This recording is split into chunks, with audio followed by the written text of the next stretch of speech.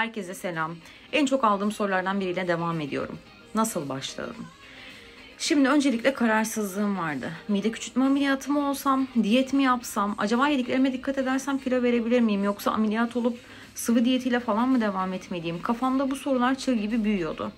Fakat ben araştırmadan, e, bilimsel olarak kanıt, kanıtlanmamış hiçbir şeyi uygulama taraftarı değilim. Yapım bu şekilde. Günlerimi, gecelerimi kitapların, bilgisayarların başında geçirdim. Ameliyatın ne gibi avantajları var, dezavantajları var. Diyetin ne gibi avantajları var, dezavantajları var. Ee, herhangi bir beslenme düzenine geçeceksem neler yapmalıyım, hayatımdan neleri çıkarmalıyım, beslenme düzenime neler eklemeliyim gibi gibi birçok kitap okudum. Ee, bir akşam araştırma yaparken aslında internette bana umut ışığı olacak bir yazıyla karşılaştım.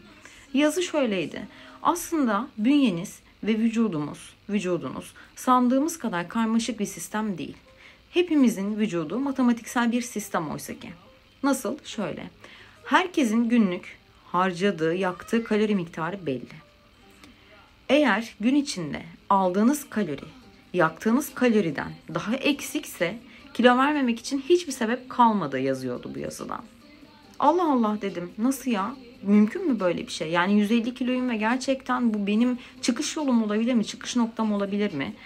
İnanmak istedim çünkü vücuduma herhangi bir bıçak değdirmek istemiyorum. Ameliyat olmayı hiç istemedim. Bir sürü komplikasyonu var. Çok zararlı e, komplikasyonlar da oluşabiliyor. Ölümle bile sonuçlanabiliyor. En nihayetinde ameliyat oluyorsunuz. O narkozu alıyorsunuz.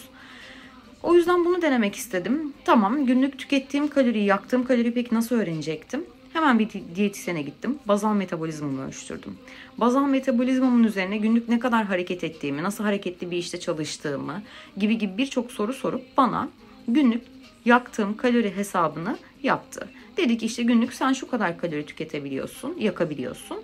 E, tükettiğin kalori bundan 200-400 kalori daha az olursa Deniz kilo verirsin mutlaka. Ama bu besinleri de sağlıklı olarak seçmeye çalış diye bana bir açıklama yaptı. Tamam dedim. Diyetisyenle devam etmek istemedim. Maddi olanaklarım da o zaman iyi değildi.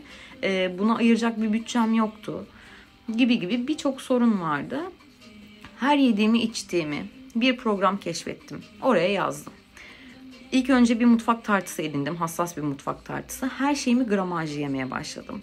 Her şeyin gramajı kaç kalori ediyor onları hesapladım. Günlük almam gereken kaloriden gerçekten 200-400 kalori açık oluşturduğum zaman ilk ay 9 kilo verdim. Demek ki bu yöntem işe yarıyormuş dedim. Böyle başladım. Kafanızın karışık olduğunu biliyorum ama ilk adım kalori hesabı. Hepinizi öpüyorum çok çok.